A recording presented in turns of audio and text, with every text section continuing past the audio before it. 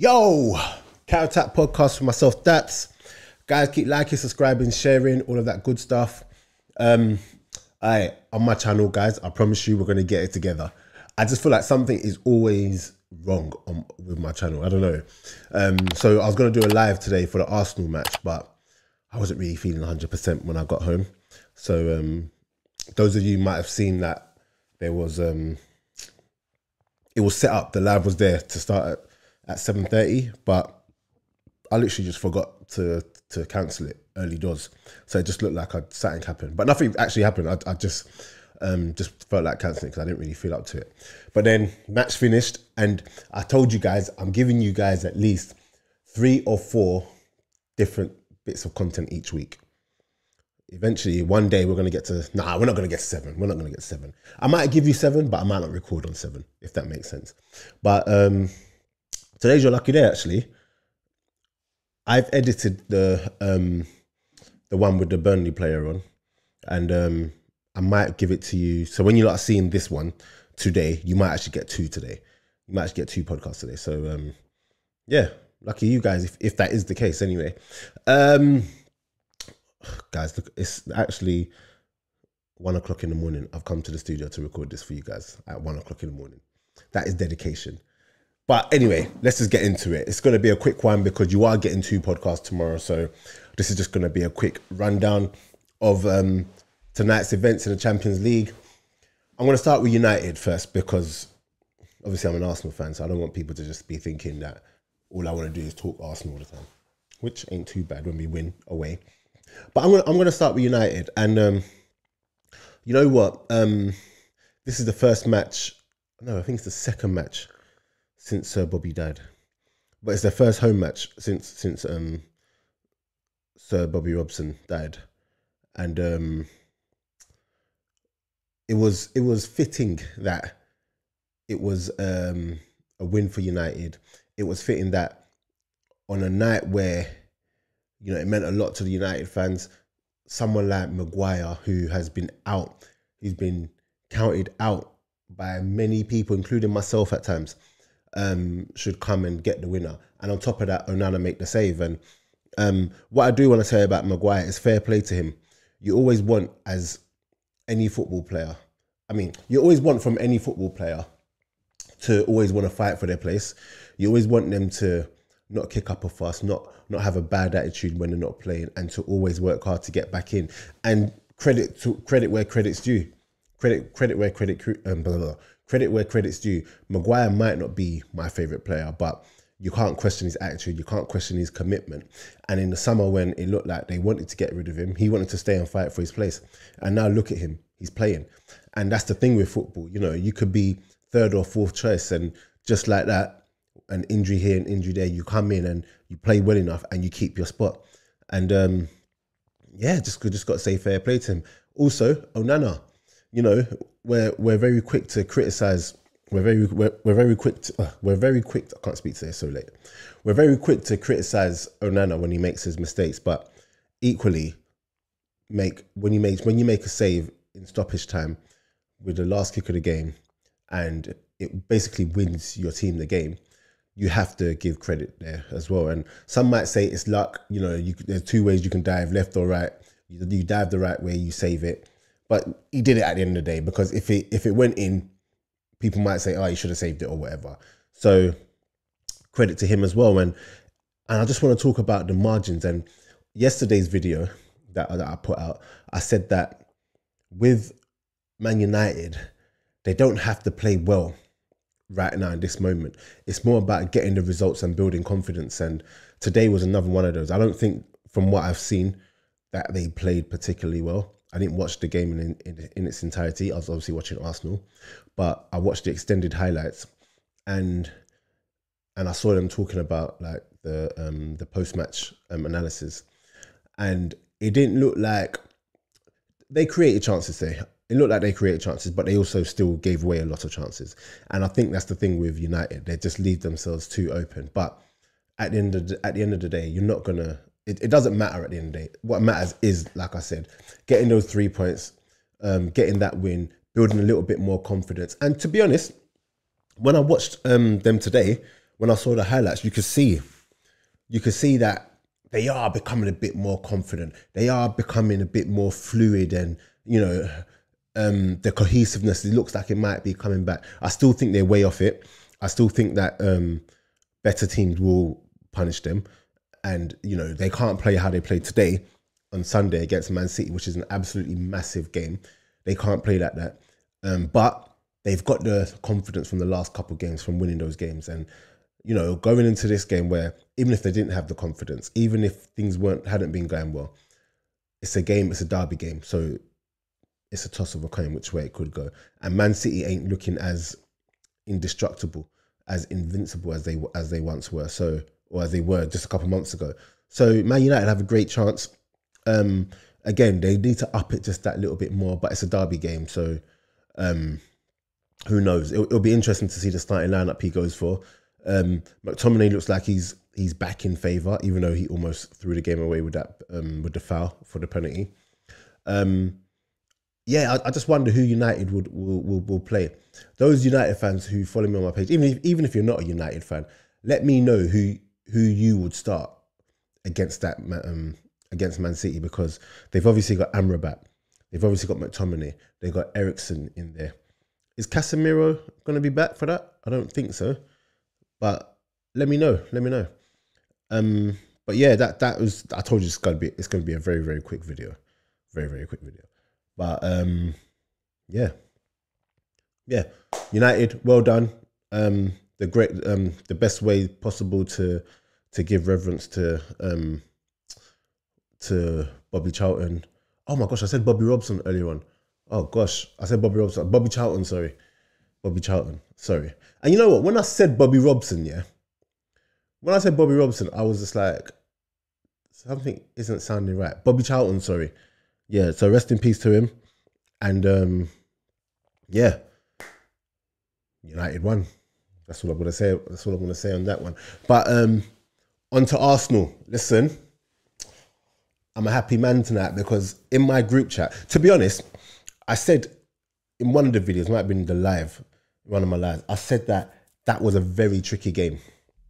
I said that was going to be a very, very tricky game. And I wasn't confident because I know Arsenal away in the Champions League sometimes it's just like, oh, like when we played against Lens, Lens, Lens, and it was just reminded me of the old school days where it's just like away games and Arsenal just fold. And um, what I will say is that that wasn't the case today.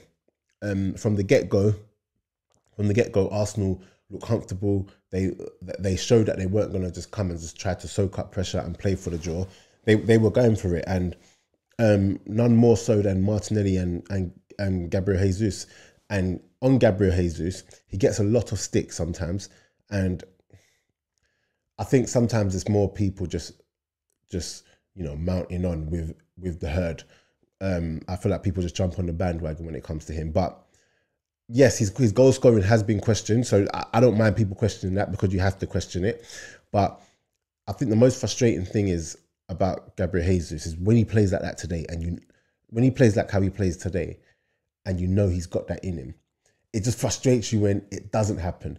Do you get what I'm saying? So um, his turn for Gabriel, I mean, his turn for Martinelli, for Martinelli's goal was just a moment of brilliance, a moment of class. And it's those moments that separate, that separate, you know, opposition, if you know what I mean. Like it's those bits of quality that just take you to the next level. And just that little turn, buying himself that space, he's taken two defenders out. Martinelli is clean through. Fair play to Martinelli for making that run and, and hoping that Gabriel Jesus would, would do something and, and find him. And once Martinelli was through, he didn't look like they weren't going to catch him. It reminds me of he did it against Aston Villa last year when he he celebrated before the ball went in, and then he did it against Brighton, and obviously the Chelsea one. Like when he's through and goal like that, people don't catch him. So fair play to him. Um, Martinelli played well today. Gabriel Jesus' goal as well, man. It's it's like this one saying. When you see Gabriel Jesus finish like that, it's so annoying when he doesn't, you know, he misses the the easier ones or he's not as clinical as he should be. So you can see him do that, what he did today, and we know he's got that in his locker. But then you can equally see him against like he like he did against Tottenham, where he just blazes the ball over when he should be hitting targets. But um, really, really good performance from him today.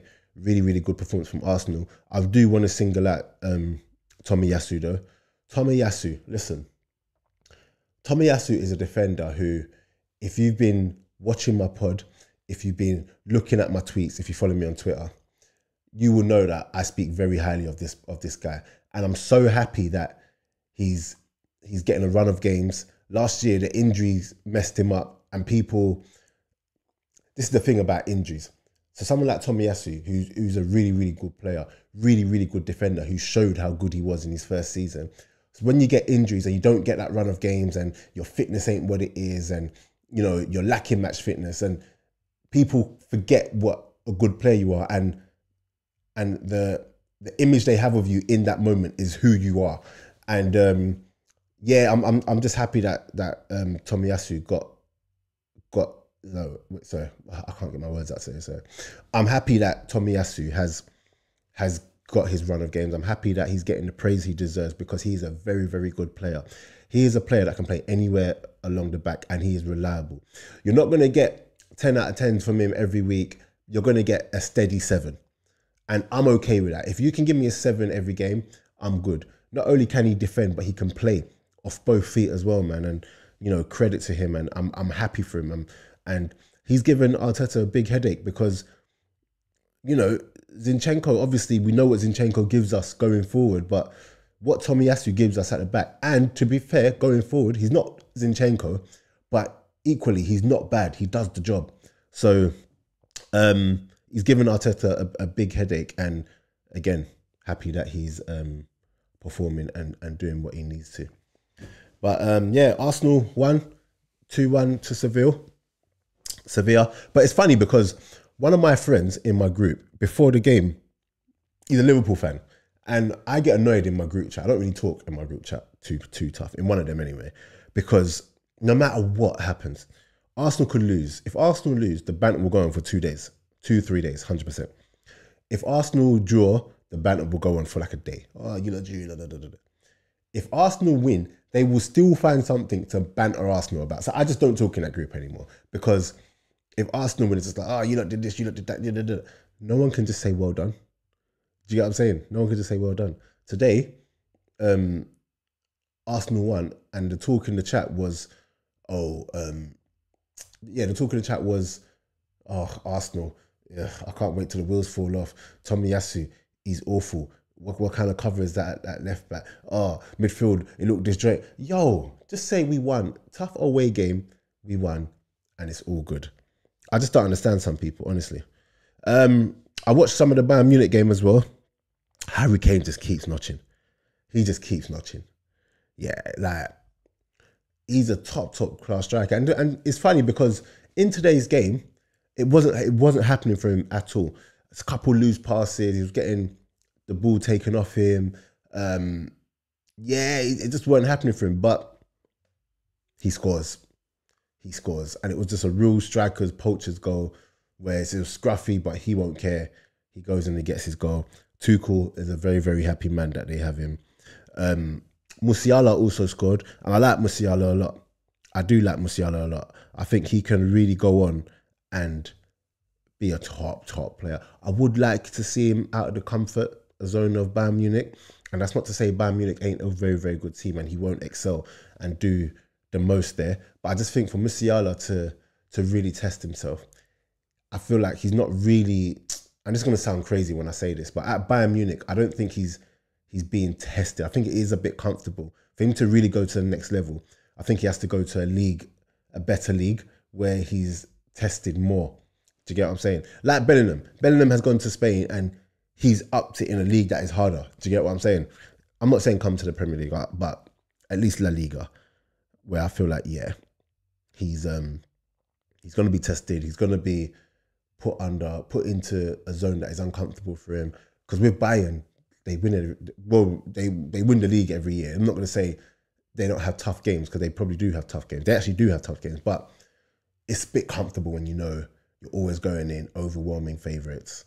Do you know what I'm saying? It's a star-studded team. Your team is light years ahead of any other team in the league. Do you know what I'm saying?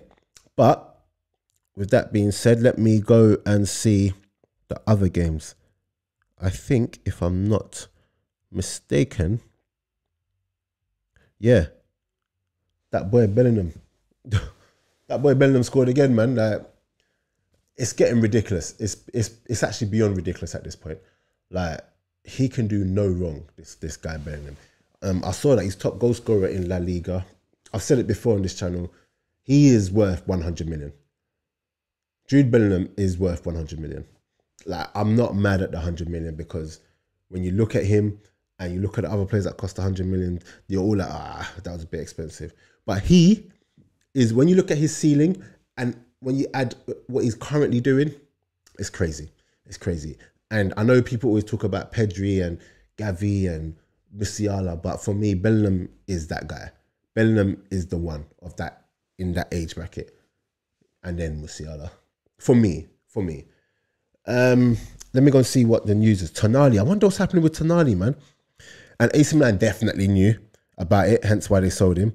And they tried to make it seem that oh, they need to raise the money and whatever. When really and truly, they knew what was coming. They knew what was coming. It's actually crazy when you really deep it that England have Declan Rice and Jude Bellingham. Declan Rice had another good game today, 100%. But I'm not going to talk about Declan Rice. What I will say is that for England to have Declan Rice and Jude Bellingham, oof, if you get that extra midfielder in there who's on the same level as them, it's crazy. But who would you play? Like Declan Rice, Jude Bellingham, who would you play with them? Because they're not really blessed with anyone else that is. Mm, actually, you can play um, Declan Rice in the six, obviously. Um, Jude Bellingham in there eight. And who would you Foden in there? Oh, Madders. Yeah, Madders. That's it for me. Bellingham, Rice, and Maddison. Yeah, yeah. I'm having that. I'm all over that. That is a crazy midfield. Crazy midfield. But um let's see the um let's see the next the stories from today before I get out of here. This is a quick video. Remember, guys, if you're watching this and you haven't actually seen the interview with the player that I've got, make sure you check it out. Just press the like button and leave a comment. Um, we've got another player coming on next week as well, so that should be good. Uh, let's look at Fabrizio Romano. Okay. Uh, oh, Gabriel Jesus went off injured. I forgot about that. Um, hopefully, it's not anything too serious. Um, Harry Maguire, I'm really proud and pleased with the way I've acted over the last six to 12 months. All right. I've been given an opportunity now and I just want to be here to help the team and get this club back to where it should be. Fair play to him. Fair play to him. Onana said, I'm just doing my job. We have to keep going like that, never stop. Yep, fair enough. So Jude Bellingham, since he's joined, 12 games, 11 goals, and three assists. No, no, no, no. Let me, let me, let me. Jude Bellingham, since he joined Real Madrid in the summer, 12 games, 11 goals, and three assists. Is this guy a striker or what? And we knew how good he was. I knew how good he was, but I didn't know he had like the goal scoring thing like this in him. I'm not gonna lie to you. I just thought he's neat on the ball. He's he's always you know making an impact. He's always affecting the game. He can get the odd goal here and there. He can create, but this is is madness. It's madness. That's what 14 goal contributions in 12 games. No, Jude Bellingham is that guy. Is that guy. And just every game you think, okay, it's gonna stop now. It's gonna the the, the, the goals are gonna stop, but he just keeps going. He just keeps going. What a player. What a player. Um let's see. Inter. Nope. FC Bayern's Champions League run unbelievable. First team in Champions League history to win eight away group stage games in a row. Oh, cool. Safe. Um. Yep. Mauro Icardi, 15 games, 14 goals to assist, and one more tonight. Fair play. Fair play. He's he's doing well. I did see um I did see that Zaha. Oh, Zaha. He had a bit of a mare today. I'm not gonna lie to you. I, I watched in that Galatasaray versus Bayern Munich match. Zaha did have a bit of a mare, but we're not gonna dwell on that because it's good to see him in, in the Champions League. But um, yeah, that's it. Cool, guys. I'm out.